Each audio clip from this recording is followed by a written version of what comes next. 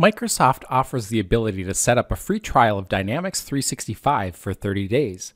I've included a link to the website in the notes below the video. To set up the trial, click on the Get Started button. Make sure to choose the correct country for your tenant as you won't be able to change this later. Enter your business information and continue to the next page. The subdomain you enter here will be used for the URL of the instance that is created. In this case, we will access our trial instance at stonedemo1.crm.dynamics.com. You will have the ability to change this in the future if you need to. You'll be prompted to enter a phone number in order to receive a code via text or voice. Enter the code, and you're all set to create the trial. Wait for the loading message, and you'll be able to customize the setup. I usually choose all of these to ensure I can easily access all of the modules I need to evaluate the product.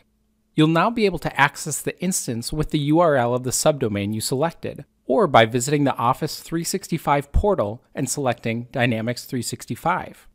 You'll have the option to only access the modules and entities related to a particular service area, but to access all of the modules, select the app with the name of your organization.